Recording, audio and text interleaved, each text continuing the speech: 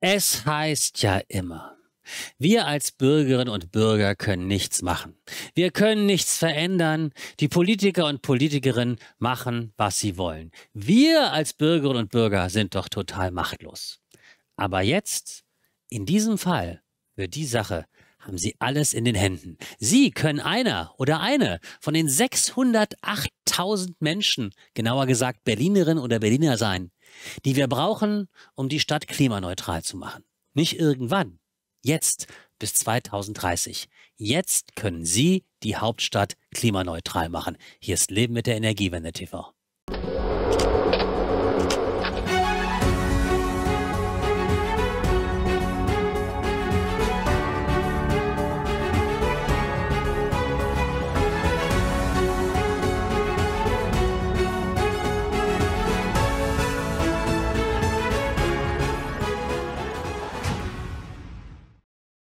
In Berlin, der Hauptstadt der Bundesrepublik Deutschland, gibt es einen Volksentscheid. Soll Berlin per Gesetz klimaneutral werden und das schon im Jahr 2030. Stefan Zimmer vom Klimaneustart Berlin heute wieder im Studio. Wir stehen kurz vor der Wahl. Einige Zuschauerinnen und Zuschauer kennen ihn schon. Wir haben schon verschiedentlich darüber berichtet und jetzt geht es so in den Endspurt rein und wir wollen Sie darüber informieren. Erstens, wie ist der aktuelle Stand? Zweitens, was muss noch passieren? Was kann passieren? Wie sieht der Gegenwind aus? Und noch einmal, kann Berlin es tatsächlich schaffen, bis 2030 klimaneutral zu werden? Eine Sache vorneweg. Nun ist es ja so, dass Menschen wie Stefan sich für gute Sachen einsetzen. Aber Sie kennen das ja, ne? Wasser predigen und Wein trinken. So klimaneutral, sich umweltfreundlich fortzubewegen. Bewegt sich Stefan Zimmer wirklich klimaneutral durch die Stadt? Ist er glaubwürdig? Wir machen mal diesen Proof. Gerade schneit es und stürmt es. Und wir haben uns gefragt, wie kommt Stefan Zimmer eigentlich ins Studio? So, schauen Sie sich das mal an, meine Damen und Herren. Also, er kommt mit dem Fahrrad an, ganz klimaneutral, bei diesem Schneewetter hat er das gemacht. Aber Stefan, so mit dem, mit dem, mit dem Fahrradschloss hast du ein paar Schwierigkeiten gehabt, ne? Ja, das war tatsächlich so ein bisschen schwierig, weil auf der anderen Seite schon ein Fahrrad angekettet war und ich deswegen mein Schloss da nicht zumachen konnte. Deswegen habe ich da relativ lang gebraucht. Aber ja, mit den richtigen Klamotten bin ich mittlerweile auch zum Winterradfahrer geworden. Ja, und so sah er dann aus, als er ins Studio gekommen ist. Das ist die richtige Montur. Also er ist nicht mit dem Auto gekommen, sondern er ist ganz klimaneutral mit äh, dem Fahrrad gekommen. Also, schauen wir mal kurz in den Computer. Am 26. 20.03. können die Berliner und Berlinerinnen abstimmen. Sie müssen in Berlin gemeldet sein, sie müssen hier einen Wohnsitz haben und sie müssen deutscher oder deutscher Staatsbürger oder Staatsbürgerin sein. Das sind die ganzen Voraussetzungen. Viele von Ihnen haben sicherlich die Briefwahlunter äh, die Wahlunterlagen schon bekommen und da sehen Sie es auf der Webseite, steht es schon drauf. Der bequemste Weg vorneweg, können wir gleich sagen, ist einfach eine Briefwahl zu beantragen. Und ich habe das auch gemacht und das ging ratzfatz. Das war sofort da, zwei Tage oder drei Tage später ankreuzen und weg die ganze Geschichte. Genau, also das ist auch der Grund, weshalb wir die Briefwahl so stark bewerben. Es ist einfach das äh, bequemste und äh, es ist vor allem auch das sicherste, weil der Volksentscheid findet jetzt nicht mit einer Wahl zusammen statt und es kann leicht passieren, dass am 26. März dann vielleicht das Wetter schön ist und man dann doch lieber äh, nach JWD, nach Brandenburg rausfährt für einen schönen Sonntagsausflug oder äh, dass man noch verkatert ist vom Samstagabend und äh, die ganze Abstimmung dann vergisst. An dem Tag wird auch auf die Sommerzeit umgestellt. Das heißt, nach der alten Zeit schließen die Wahllokale dann schon nach um 17 Uhr.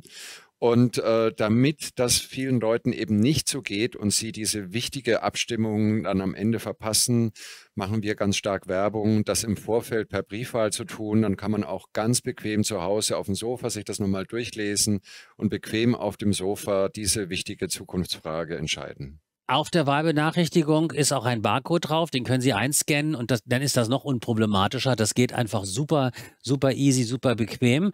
Mein Kameramann hier oben, der gerade unsere Bilder zusammenmischt, Martin Jörg, der hat schon gewählt im Rathaus. Das geht nämlich auch.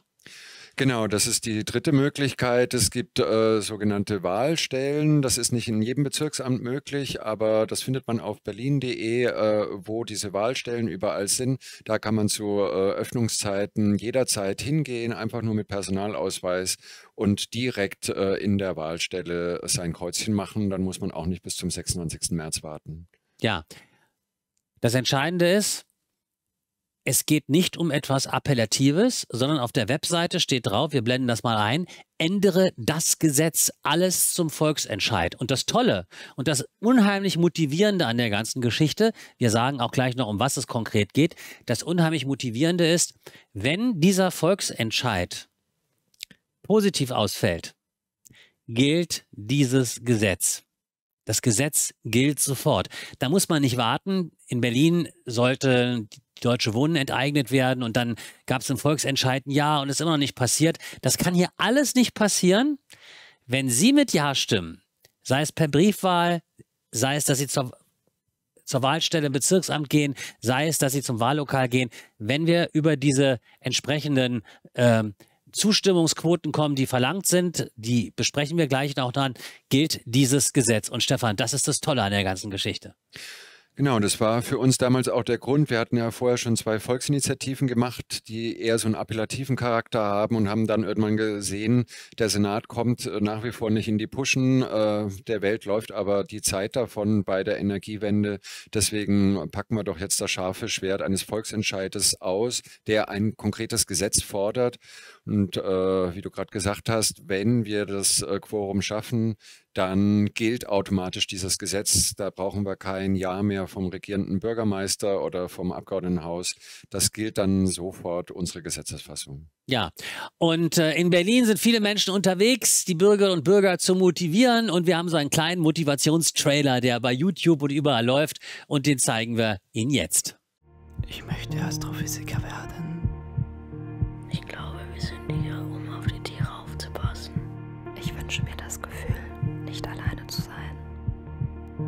Fühlt sich an, als ob viele Menschen gerade gleichzeitig aufwachen. Wir können unsere Stadt ganz anders denken. Am 26. März nehmen wir mit dem Berliner Volksentscheid unsere Zukunft in die Hand.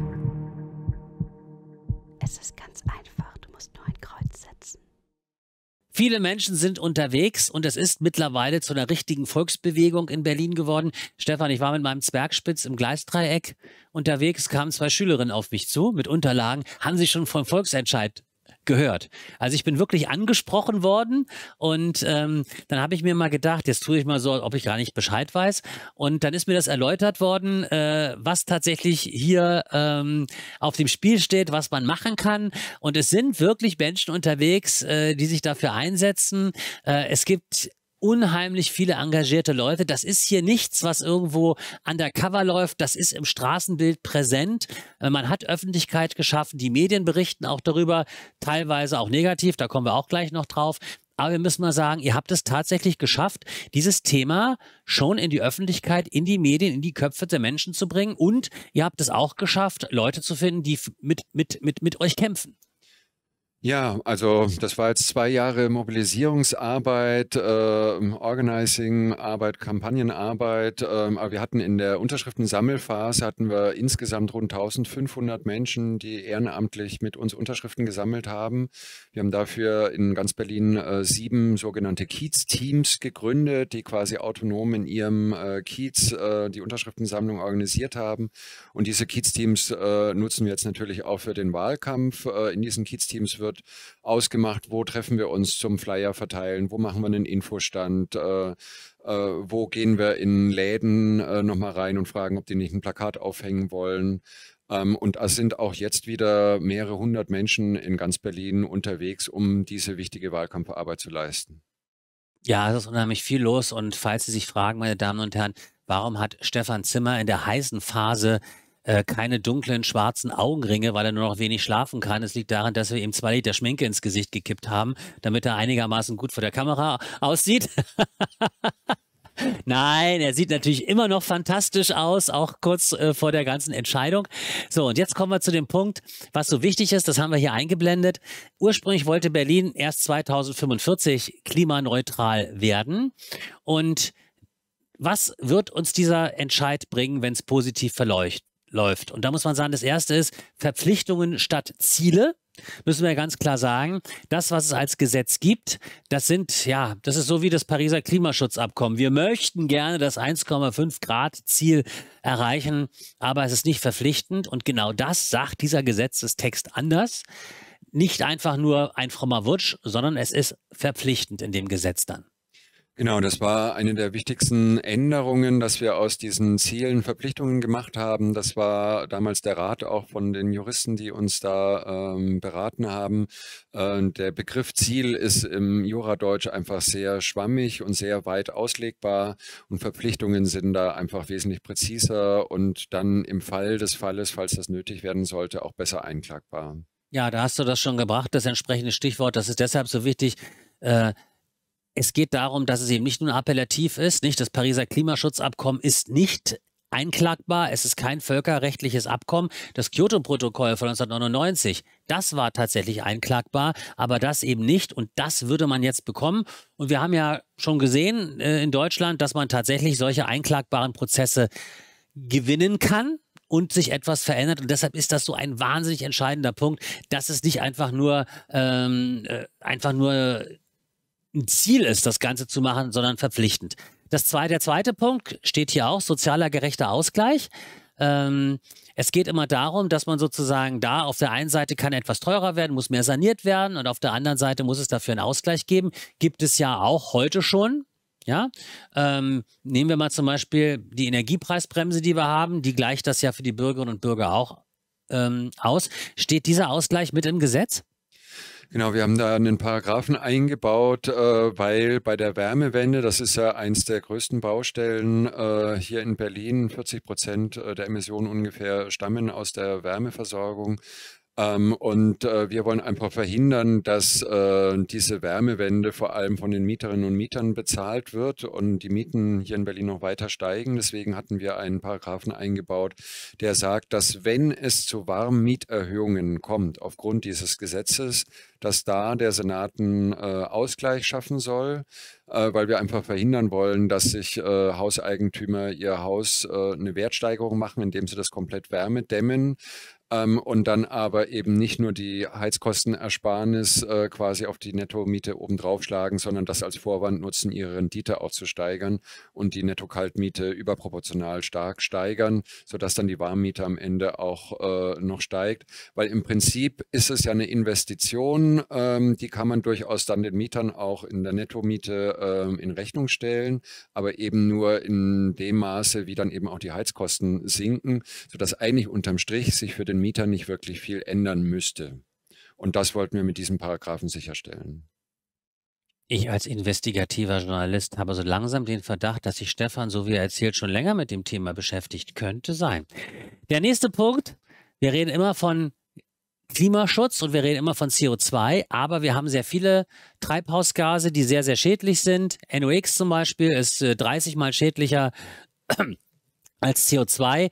Und deshalb ist das auch ein sehr wichtiger Punkt zu sagen, wir machen eine ehrliche Bilanz. Genau, das war uns auch wichtig. In der bisherigen ähm, CO2-Bilanz oder, oder Emissionsbilanz Berlins wurde eben nur das CO2 berücksichtigt, aber andere äh, klimaschädliche Gase eben nicht. Und äh, äh, du hattest gerade ähm, schon angesprochen. Methan ist zum Beispiel auch äh, ein Treibhausgas, was ja wesentlich klima, ich glaube 20-fach so äh, klimaschädlich ist wie äh, CO2, was zum Beispiel bei dem Transport von Erdgas äh, an vielen Stellen entweicht und äh, den Treibhausgaseffekt äh, anheizt. Und es bringt ja nichts, wenn wir uns jetzt nur auf das CO2 konzentrieren und andere Treibhausgase munter weiter emittiert werden. Von daher haben wir gesagt, im Gesetz muss festgeschrieben werden, alle Treibhausgase müssen berücksichtigt werden. Der vierte Punkt ist ehrlich gesagt mein Lieblingspunkt äh, in dem Gesetz, nämlich Reduktion vor Kompensation. Äh, wir reden viel zu viel von Kompensation. Wir sagen dann auch, ja, wir produzieren mehr erneuerbare Energie oder wir gleichen irgendwie, wir kompensieren irgendwelche Flüge, aber eigentlich bleibt alles beim Alten. Und es wird eigentlich beim Thema Energiewende und Klimaschutz äh, sehr, sehr oft vergessen, dass weniger Energie zu verbrauchen, weniger Emissionen äh, zu erzeugen, eigentlich der erste Weg sind, äh, Dinge zu verändern. Und es gibt kein Szenario des, der Energiewende, es gibt kein Szenario des Klimaschutzes, in dem wir nicht weniger Energie verbrauchen müssen oder dürfen, als wir es jetzt sozusagen schon haben. Und äh, wir reden immer davon, ja, wir produzieren mehr erneuerbare Energie, aber in der Reduktion sind unfassbare Effekte zu erzielen. Äh, ich habe mal was gemacht mit dem Wuppertal-Institut.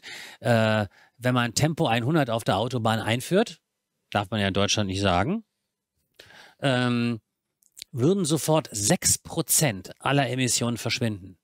Und zwar nicht nur ähm, 6% der Emissionen im Verkehr, der Gesamtemissionen. Muss man sich das mal vorstellen, was das für ein Deal ist, wenn wir Tempo 100 haben. Ja, vielleicht ist dann, kann man es auch Tempo 120 machen, ist ja egal. Wir können sofort 6% einkassieren. Was muss man dafür machen? Vielleicht ein paar Verkehrsschilder aufstellen. Nicht? Also da ist einfach Reduktion vor Kompensation und da brauche ich nur mal durch Berlin gucken an allen Ecken und Enden. da gibt es Möglichkeiten ohne Ende. Genau, also du hast es gerade das Tempolimit angesprochen. Das sind ja die, die sogenannten Low-Hanging Fruits, also die Maßnahmen, die einfach sehr leicht und schnell erreichbar sind. Und die müssen jetzt äh, als erstes umgesetzt werden. Aber insgesamt war uns eben auch wichtig, dass Berlin äh, sich da nicht die Weste äh, frei äh, reinwäscht, indem dann irgendwelche Aufforstungsprojekte in Afrika finanziert werden, mit dem dann unsere Bilanz quasi schön gerechnet wird, sondern dass wir hier in Berlin eben alle Emissionen reduzieren, so weit wie möglich. Im äh, Energiewendegesetz steht ja auch mit unserem Gesetzesentwurf eine Reduktion von 95 Prozent, also 5 Prozent Emissionen bleiben quasi, können quasi noch äh, drin bleiben. Das sind die Bereiche, die am, am allerschwersten äh, umsetzbar sind. Ähm, aber wir wollen eben verhindern, dass der Senat sich hier irgendwie aus der Affäre äh, mogelt äh, und dass wirklich alles getan wird, um die Emissionen jetzt so weit wie möglich runterzusenken. Also diese vier Punkte sind im Zentrum dieser ganzen Geschichte. 25 Prozent der Wahlberechtigten in Berlin müssen zugestimmt haben. Das sind diese 608.000, von denen ich am Anfang dieser Sendung sprach. Also 25 Prozent müssen zugestimmt haben. Das heißt, ähm, die müssen auf alle Fälle auch zur Wahl ge gehen. Das heißt, wenn, wenn, wenn nur 15 Prozent zur Wahl gehen und die stimmen zu 70 Prozent dafür, dann ist der Volksentscheid trotzdem verloren. Genau, so war es, äh, ich glaube, vor rund zwölf Jahren bei dem Volksentscheid zur Rekommunalisierung des Stromnetzes. Äh, die hatten, glaube ich, 80 Prozent Zustimmung, aber am Ende haben ihnen 20.000 Stimmen gefehlt äh, bei der Beteiligung und deswegen äh, ging das damals dann nicht durch. Und äh, genau dieses Szenario droht bei uns natürlich auch, weil wir eben nicht mit einer regulären Wahl zusammenfallen. Und wenn die Leute nur für den Volksentscheid ins Wahllokal gehen müssen, an einem Sonntag, wo alle frei haben, ähm, kann das eben leicht passieren. Deswegen bewerben wir jetzt eben so stark auch die Briefwahl, damit möglichst viele Leute jetzt im Vorfeld diese wichtige Abstimmung schon hinter sich bringen und sich daran beteiligen, weil wir wollen ja auch, dass sich möglichst viele Berlinerinnen und Berliner mit der Thematik befassen und da mit abstimmen. Gerne auch Menschen, die dagegen sind, auch die sollen mit abstimmen. Es soll ein demokratisches äh, ähm, Quorum werden ähm, damit am Ende eben genügend Leute abgestimmt haben, damit das Gesetz dann auch gilt. Mhm. Ähm, sind denn die Volksentscheide, die in Berlin positiv ausgegangen sind, wo man das erreicht hat, sind die denn alle mit Wahlen zusammen gewesen oder hat man es auch mal geschafft, wo man die Menschen tatsächlich extra ins Wahllokal bewegen musste? Nee, es gab äh, insgesamt vier Volksentscheide, die nicht mit Wahlen zusammengefallen sind und davon hat es einer geschafft. Das war der zu den Geheimverträgen der äh, Wasserbetriebe. Der lief auch nicht mit einer Wahl ab und äh, da wurde das Quorum tatsächlich erreicht. Ähm, und äh, das hat am Ende dann ja auch in einem Erfolg gemündet. Ja. Wir gehen natürlich davon aus, dass die 608.000 Stimmen zustande kommen. Es muss auf alle Fälle, selbst wenn 25 Prozent zur Wahl gehen, muss aber relativ dann natürlich die Mehrheit dafür sein. Wenn 25 Prozent zur Wahl gehen und davon stimmen so und so viel Prozent dagegen, habt ihr trotzdem verloren oder haben wir trotzdem verloren. Genau, also natürlich muss die Mehrheit äh, für den Volksentscheid äh, stimmen, damit er am Ende auch durchkommt.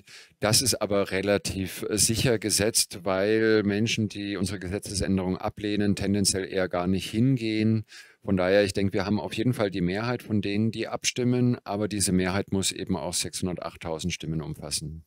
Und denken Sie nicht, ist ja egal, ob ich hingehe oder nicht. Das haben wir bei der letzten Berlin-Wahl gesehen. Da haben 50 Stimmen entschieden, wer ist zweitstärkste Partei in Berlin. Wer hätte theoretisch jetzt, wenn die Koalition weitergelaufen wäre, ähm, wer hätte dann sozusagen Anrecht gehabt, ob die Grünen oder die SPD, die Bürgermeisterin sozusagen stellen. Da haben 50 äh, Stimmen entschieden, wer die zweitstärkste Partei war. Also es ist unglaublich.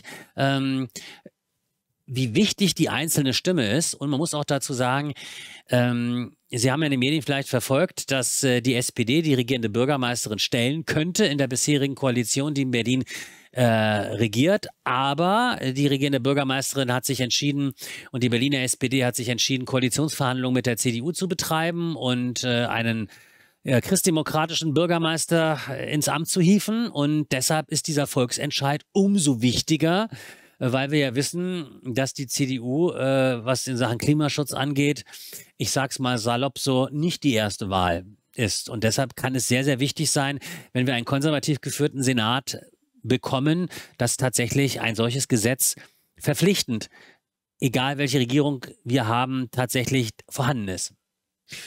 Ja, also genau so sieht es aus. Äh, wir denken, dass es eigentlich jede demokratische Partei für selbstverständlich halten müsste, äh, die Energiewende jetzt möglichst schnell umzusetzen. Äh, wir hatten vorhin schon das Paris-Abkommen, das ja vom Deutschen Bundestag ratifiziert wurde, genannt.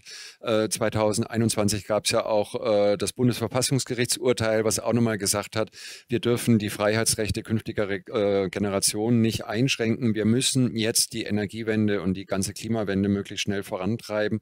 Von daher muss das eigentlich auch ein Projekt der CDU werden und auch der FDP und der SPD aller demokratischen Parteien.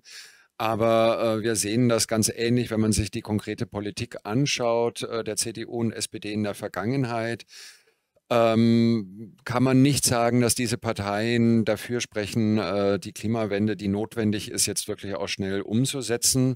Aber wir gehen davon aus, dass sich äh, alle demokratischen Parteien an Recht und Gesetz halten und dann unser Gesetz eben auch umsetzen, wenn wir den Volksentscheid dann gewinnen.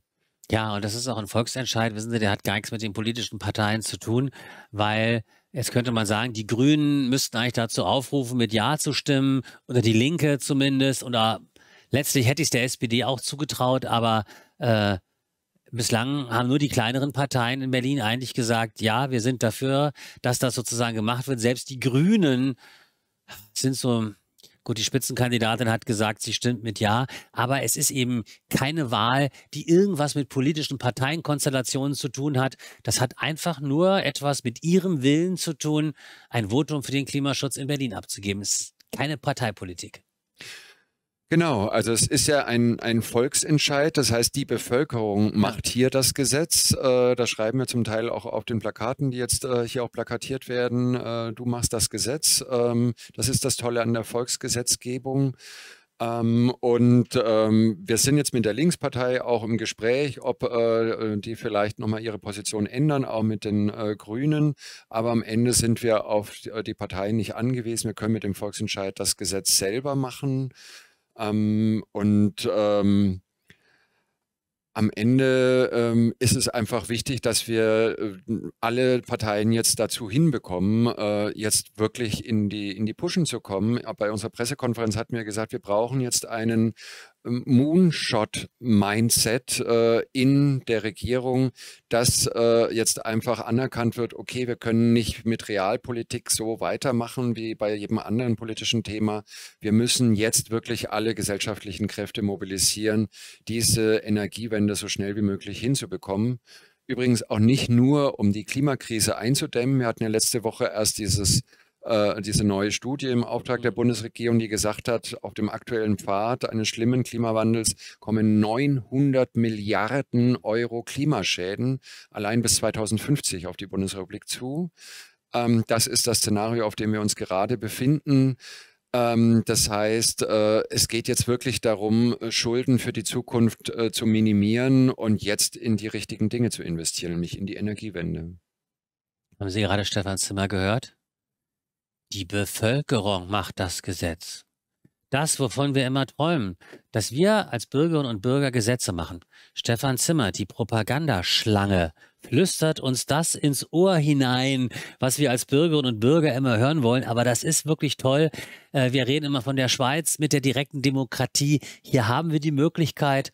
Und natürlich gehen wir davon aus, äh, dass die Mehrheit der Berliner und Berlinerinnen tatsächlich mit Ja stimmt, dass die 608.000 Stimmen dafür erreicht werden.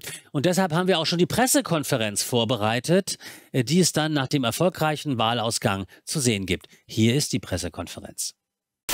Man sieht besser mit Qualitätsgläsern vom VEB.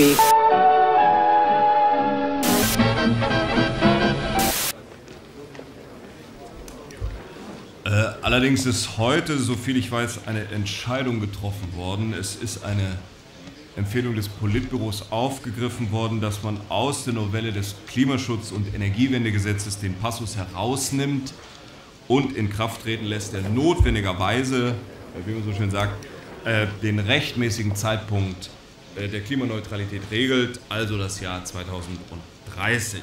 Weil wir es äh, für einen unmöglichen Zustand halten, dass sich diese Bewegung so langsam vollzieht, was ja auch für diese Stadt nicht ganz einfach ist. Und deshalb haben wir uns dazu entschlossen, heute eine Regelung zu treffen, die es jedem Bürger von Berlin möglich macht, diese Verpflichtung sofort in Kraft zu setzen. Ab sofort?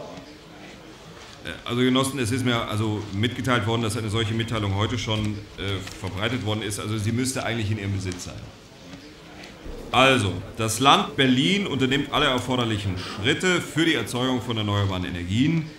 Die Genehmigungen werden kurzfristig erteilt.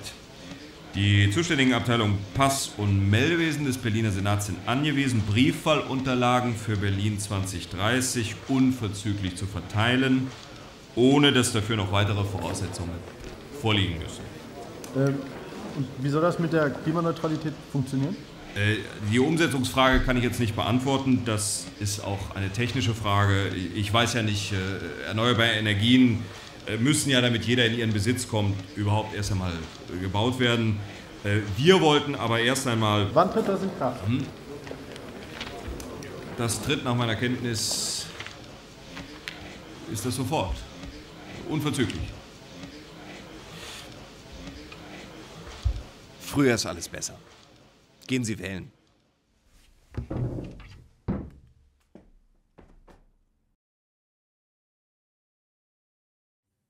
Ja, so ähnlich hätten wir es dann gerne nach der Wahl, dass die Pressekonferenz dann so äh, äh, verlaufen könnte. Jetzt ist es aber so, meine Damen und Herren, äh, das ganze Thema wird ja diskutiert und äh, es ist gar nicht mal so, dass es da einen politischen Schlagabtausch zwischen den politischen Parteien gibt. Äh, Es gibt medial auch sehr viel Gegenwind. Und ähm, äh, wenn Sie hier in Berlin sind, wird auch zunehmend äh, medial dagegen gepowert. Äh, für, für Nicht-Berlinerinnen und Berliner muss ich kurz erklären, es gibt hier eine relativ schrottige Boulevardzeitung, die BZ, kommt aus dem Springer Verlag, da kommt ja eh publizistisch wenig Sinnvolles raus. Äh, und die BZ versucht also wirklich aus allen Rohren gegen, diesen Volks, ähm, gegen diesen Volksentscheid zu powern. Und ich muss einschränkend sagen, ich habe auch in der BZ einige Artikel gelesen, die fand ich okay. Äh, Da wurde das relativ gut dargestellt, aber es gibt dann natürlich auch kompletten Nonsens, der abgedruckt wird, ist halt eine doofe Boulevardzeitung. Schauen wir mal rein, zum Beispiel hier, der Volksentscheid zum Klima führt direkt in das totale Autoverbot. Ähm, so ein Unsinn wird erzählt, um sozusagen Front zu machen gegen diesen, gegen diesen Volksentscheid. Und ähm, ja, das ist einfach nur Biertischmedienberichterstattung und natürlich muss man sagen, der Volksentscheid führt nicht automatisch zum Autoverbot. Nein, also äh, wir hatten ja vorhin die, die Forderungen äh, nochmal durchdekliniert. Äh, wir fordern keine einzige Maßnahme, sondern ja erstmal vor allem eine Zielverschärfung und eine äh, Konkretisierung durch die Verpflichtungen. Ähm, und wir fordern auch kein Autoverbot in Berlin. Es wird äh, immer in Berlin Autos geben. Äh, die fußkranke Oma, die zum Arzt muss, wird äh, auch weiterhin mit dem Auto zum Arzt gefahren werden können. Ähm, was nötig sein wird, ist eine Reduzierung der privaten PKWs in Berlin. Und da denken wir, schaffen wir ja auch Planungssicherheit. Wenn dieser Volksentscheid jetzt durchkommt und bis 2030 die Emissionen runterkommen müssen, dann wissen sowohl äh, Unternehmen als auch Privathaushalte, okay, mein Diesel ist jetzt fünf Jahre alt, in fünf bis sechs Jahren wird er eh anfangen, äh, Mätzchen zu machen. Die Deutschen verkaufen ihr Auto in der Regel nach zehn Jahren. Ich kann das jetzt noch weiterfahren, alles easy, aber wenn das 2028, 2029 dann kaputt geht oder ich mir dann eh ein neues anschaffen müsste, dann habe ich die Planungssicherheit und weiß, ich werde mir 2028 oder 2029 keinen neuen Diesel mehr kaufen, weil ich den dann eben ab 2030 in der Stadt nicht mehr fahren kann. Aber dann habe ich die Planungssicherheit. Aktuell lässt die Politik die Menschen ja eher ins offene Messer laufen. Mhm. Die Menschen denken, sie können ewig weiter mit Diesel fahren und die Klimakrise wird voraussichtlich weiter eskalieren. Irgendwann wird es zu härteren Einschnitten kommen und dann kann es sein, dass von heute auf morgen äh, Verbrennermotoren verboten mhm. werden müssen. Dann haben die Leute falsch investiert und sitzen auf ihren Autos, die sie nicht mehr nutzen können. Von daher, wir wollen den Leuten Planungssicherheit geben und natürlich brauchen wir auch mehr Alternativen. Wir können nicht einfach sagen, wir reduzieren die Anzahl der Autos. Wir müssen die Taktung im ÖPNV bei der BVG erhöhen, dass im zwei, drei Minuten Takt die Tram kommt. Wir brauchen neue Bus- und Tramlinien, dass wir ein dichteres Netz bekommen, gerade auch in den Außenbezirken. Es gibt jetzt schon Sharing-Konzepte, die müssen ausgebaut werden. Es muss ja nicht immer ein privates Pkw-Auto äh, sein. Mit Sharing-Autos äh, kann man sehr gut äh, von A nach B kommen, wenn man denn mal was Größeres transportieren muss oder eben die fußkranke Oma zum, zum Arzt fahren muss. Hm. Ähm, und wenn wir das Fahrradwegenetz nochmal weiter ausbauen, dann können auch alte Menschen und auch Kinder sicher mit dem Fahrrad von A nach B fahren, wenn sie nicht mehr Angst haben müssen im Straßenverkehr, ums Leben zu kommen, was ja jedes Jahr nach wie vor leider passiert. Dann schaffen wir viele neue Möglichkeiten, von A nach B zu kommen. Dann kann ich eben jeden Tag ganz neu wählen, was muss ich transportieren, wo muss ich wie hin. Und es ist heute schon so, wenn ich einen dringenden Termin habe, ich bin selbst selbstständig, ähm, dann fahre ich lieber mit dem Fahrrad. Da bin ich äh, auf einer sechs, sieben Kilometer Strecke in 20 Minuten mit dem Fahrrad. Mhm. In einem Auto stehe ich eine halbe, dreiviertel Stunde im Stau, komme zu spät zu meinem Termin. Mhm. Also je nach äh, Anlass kann ich dann das Verkehrsmittel wählen, was dann eben am besten geeignet ist. So wird der Verkehr, denke ich, in zehn Jahren in Berlin aussehen. Ja, also sowas wie hier in dieser Schlagzeile der Volksentscheid zum Klima führt direkt in das totale Autoverbot. Das glaubt ja der Autor selber nicht, der das schreibt. Und das glaubt auch keiner, der das liest. Ist ja Schwachsinn zu sagen, in ganz Berlin gibt es ein totales Autoverbot. Also es ist einfach blöder Quatsch, der da publiziert wird. Und es ist schon erstaunlich, dass überhaupt sowas irgendwie dann auch noch veröffentlicht wird, so ein totaler Blödsinn und Unsinn. Ähm, es wird aber immer argumentiert und äh, das ist dann schon was anderes. Es wird gesagt, ja, da muss Berlin zwei Milliarden Euro investieren. Das wird ja richtig teuer und die Mieten gehen rauf. Da wird die nächste Angst gemacht, uh, die Mieten gehen rauf und so weiter. Wir wissen aber, dass erneuerbare Energie billiger ist als fossile Energie. Wir wissen mittlerweile, dass Klimaschutz billiger ist, als so weiterzumachen. Und lassen uns jetzt nicht die zwei Milliarden Euro diskutieren, die Berlin dafür braucht. Ähm, oder brauchen könnte vielleicht. Vielleicht ist es sogar noch viel mehr, was wir brauchen. Aber es ist doch mittlerweile auch klar, dass der teuerste Weg ist, nichts zu machen, oder? Ja, also ich hatte ja gerade vorhin schon die, die neue Studie der Bundesregierung äh, ähm, genannt, 900 Milliarden an Klimaschäden allein bis 2050 für äh, ganz Deutschland. Ähm, und wir hatten ja vor zwei Jahren äh, gesehen, was im Ahrtal in Nordrhein-Westfalen und äh, Saarland passiert ist. Da sind an einem einzigen Tag innerhalb von 24 Stunden 40 Milliarden Schäden entstanden. Äh, Häuser wurden zerstört, Infrastruktur wurde zerstört, äh, Wirtschaftsbetriebe wurden zerstört, konnten monatelang nicht mehr arbeiten, Lieferketten wurden zerstört. Insgesamt ein volkswirtschaftlicher Schaden von 40 Milliarden. Ähm, diese Machbarkeitsstudie im, für den Wärmebereich, zum Beispiel das Fraunhofer Institut, hat gesagt, es würde vier Milliarden Euro kosten, das Fernwärmenetz komplett zu dekarbonisieren. Das ist ein Zehntel von dem, was im Ahrtal an einem einzigen Tag zerstört wurde. Da sieht man das Verhältnis. Investieren wir jetzt in die Zukunft, äh, in eine Technologie, von der wir jahrzehntelang noch jedes Jahr profitieren werden durch niedrige Energiekosten? Oder machen wir so weiter wie bisher und haben dann die zehnfachen Kosten an einem einzigen Tag? Und sowas wird in Zukunft ja öfters passieren. Ja, nehmen wir mal, wirklich sind die zwei Milliarden. Ne? Also ich meine, wir, es werden ja ganz andere Zahlen aufgerufen. Jetzt gibt die Bundesregierung 200 Milliarden Euro aus, um fossile Energiepreise zu subventionieren weil wir nicht genug erneuerbare Energie haben. Oder hier die berühmten 100 Milliarden für die Bundeswehr, wo es heißt, oh, die reichen ja gar nicht aus, davon können wir nicht mal Munition kaufen, ja. Und dann haben wir so, zwei Milliarden für eine Hauptstadt, die klimaneutral zu machen, kriegen wir nicht hin. Wie gesagt, die Zahl ist ja auch einfach nur so wupp in den, in den Raum reingeworfen. Aber ich glaube, das taugt überhaupt nicht, äh, um uns Angst davor zu machen, diese Aufgabe einfach ähm, anzunehmen. Was aber viele an dem Volksentscheid wirklich kritisieren, auch Klimafolgenforscher, ähm, was viele Politiker auch sagen, ist zu sagen, bis 2030 ist es nicht realistisch, das sozusagen zu schaffen. Wir werden nicht bis 2030 klimaneutral werden, da würde ich jetzt sagen, ja, ähm, so what? Dann sind es zwei Jahre später. Aber es geht ja hier darum, dass diese Aufgabe gesetzlich nun endlich mal in Angriff genommen wird. Ja, also ähm, das war vor zwei Jahren ja auch der Anlass für uns, äh, äh, diesen Volksentscheid zu starten, weil wir eben gesehen hatten, der Senat erklärt, erklärt die Klimanotlage, ansonsten passiert aber nicht sonderlich viel. Mhm. Ähm, und wir wollen, dass der Senat einfach jetzt ins Handeln kommt. Im aktuellen Gesetz steht drin, bis 2045 Reduktion um 95 Prozent. Und das hat einfach das Problem, das ist in 23 Jahren, das sind jetzt noch fünf Legislaturperioden. Das heißt, die aktuelle Regierung, die jetzt ins Amt kommen wird, kann sich damit jetzt ganz bequem erstmal drei Jahre gar nicht mit beschäftigen, weil das Ziel noch so weit entfernt liegt. Und wenn wir im Gesetz jetzt äh, ähm, diese Zielzahlen nach vorne ziehen, es gibt ja auch noch ein Zwischenziel bis 2025 mhm. und bis 2030, zwingen wir den Senat, dieses Problem eben nicht mehr zu vertagen auf die Nachfolge, nach, nach Nachfolgeregierung, sondern wir zwingen den aktuellen, heutigen Senat jetzt 2023 anzufangen, diese Transformation anzugehen, jetzt in die Zukunft zu investieren ähm, unter anderem auch äh, aus wirtschaftlichen Gründen. Denn die Energiewende schafft ja auch neue Jobs, zukunftsfähige Jobs, die entweder jetzt hier in Berlin entstehen können oder auch in anderen Regionen. Äh, wenn man sich anschaut, die letzten Hightech-Industrien, die sich in Deutschland angesiedelt haben, ist einmal diese Batteriezellenfabrik ähm, und äh, eine Chipfabrik von Intel.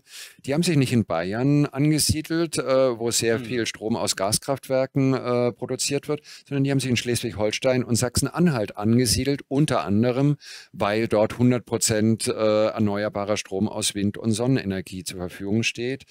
Ähm, und da sieht man ja schon, äh, das hat auch handfeste wirtschaftliche Gründe, jetzt wirklich die Energiewende hier voranzuschaffen, ähm, damit Berlin hier den Anschluss nicht verliert. Sonst könnte ich so sagen, 2045 wiege ich wieder 80 Kilo. Ja, dann kann ich bis 2043 weiter meine Gummibären abends essen und dann höre ich 2043 auf, schaffe es nicht und sage, tja, leider habe ich mein Ziel 2045 verpasst. Wichtig ist, dass ich jetzt aufhöre, nachts und abends Gummibären zu essen. Das kann ich sozusagen sofort machen. Und das ist das Ziel, es jetzt wirklich anzufangen und wie Stefan sagt, nicht in die nächste Legislaturperiode zu äh, verschieben, sondern es jetzt einfach irgendwie zu machen. Und wenn wir dann 2030 erreicht haben, dann werden wir sozusagen noch gucken, wo wir stehen. Und nun lassen Sie uns das Ziel erstmal durchsetzen, lassen Sie uns dieses Gesetz durchbringen. Einen Punkt zum Schluss will ich noch kurz besprechen. Die Kampagne ist sehr professionell organisiert.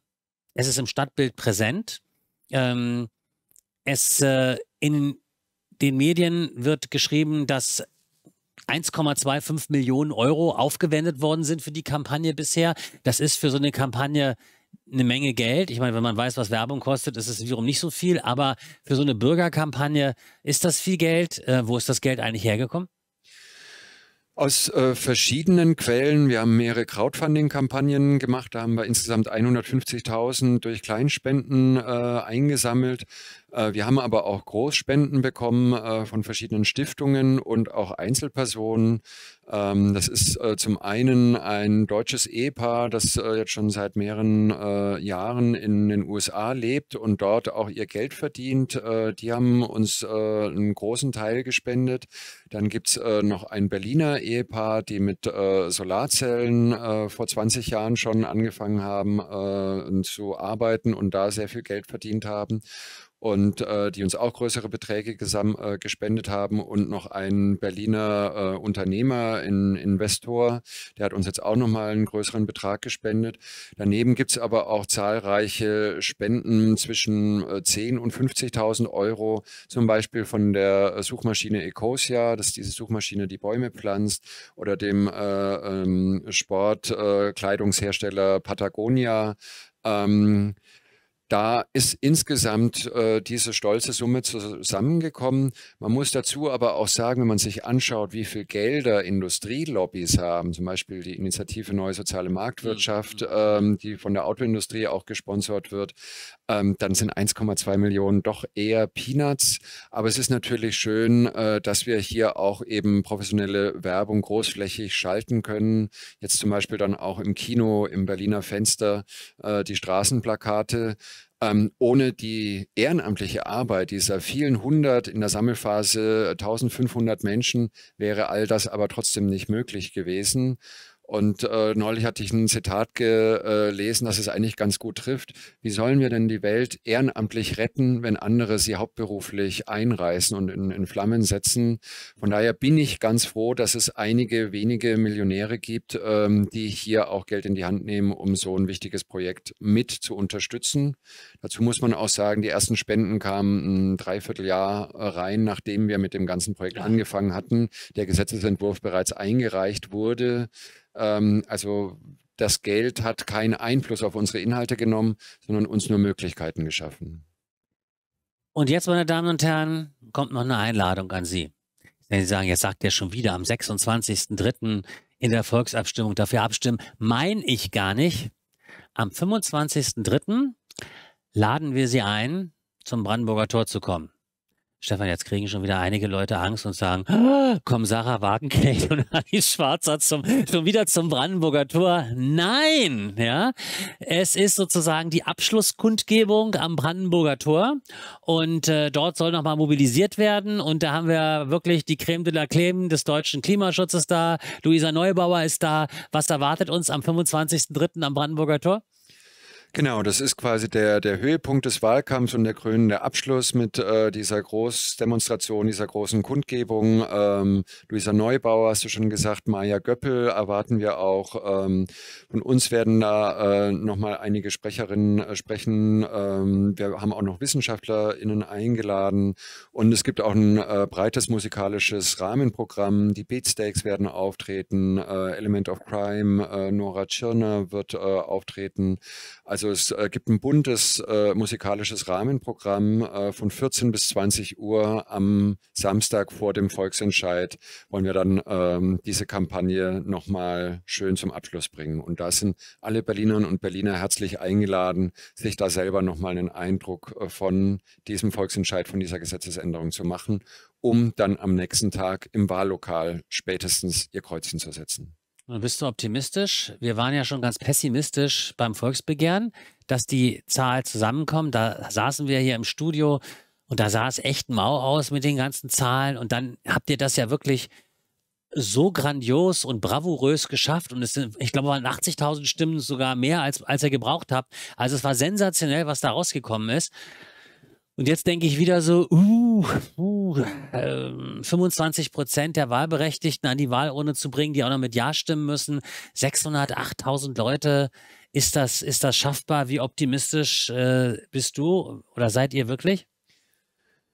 Ich bin verhalten optimistisch. Äh, wir haben jetzt schon über 370.000 Briefwahlanträge. Oh. Da wissen wir natürlich nicht, äh, wie Boah, hoch das da das Bestimmungsquorum ist. Da sind mit Sicherheit auch Leute dabei, die mit Nein stimmen wollen. Ähm, aber es ist schon mal ein ganz gutes Zeichen, dass sich jetzt schon im Vorfeld per Briefwahl so viele Leute an der Abstimmung beteiligen. Ähm, und äh, also wie jetzt mehrfach gesagt, äh, Volksentscheide, die nicht mit einer Wahl zusammenfallen, äh, tun sich immer sehr schwer, dieses Quorum zu erreichen. Von daher, ich denke, es wird eine knappe Kiste werden. Es ist wirklich, wie du vorhin auch gesagt hattest, äh, SPD, Grüne liegen nur 50 Stimmen auseinander. Jede einzelne Stimme kann einen Unterschied machen. Ähm, aber ich habe einen verhalten optimistischen Eindruck, dass wir es tatsächlich hinkriegen. Wir haben jetzt noch zwei Wochen zu mobilisieren. Ähm, und wie gesagt, am Samstag dann noch dieses große Konzert, was hoffentlich dann auch viele nochmal dazu bewegen wird, am Sonntag dann wirklich auch ins Wahllokal zu gehen. 370.000 Anträge für Briefwahl, das finde ich schon richtig, richtig gut. Das macht mich jetzt ganz schön optimistisch in dem Moment. Genau, aber es ähm, braucht nach wie vor äh, noch 300.000 Leute, die dann auch wirklich noch abstimmen. Äh, von daher, das Kind ist noch nicht im Kasten. Sagt man das? Zum? Schluss eine wichtige Frage.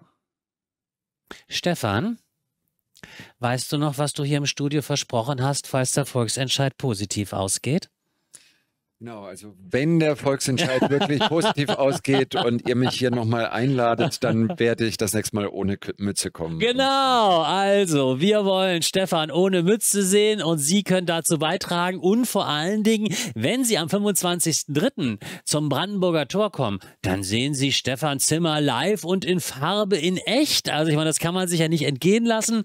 Und äh, nochmal Vielleicht war die Sendung für Sie nicht ganz so spannend, wenn Sie jetzt nicht aus Berlin gekommen sind, aber es ist ein Weg, in dem wir Bürger und Bürgerinnen Einfluss nehmen können, in dem wir etwas entscheiden können. Und davon brauchen wir nicht weniger, sondern mehr und das Engagement vieler, vieler Menschen und Sie können dabei sein. Also am 26.03. kämpfen wir, stimmen wir für ein klimaneutrales Berlin ab.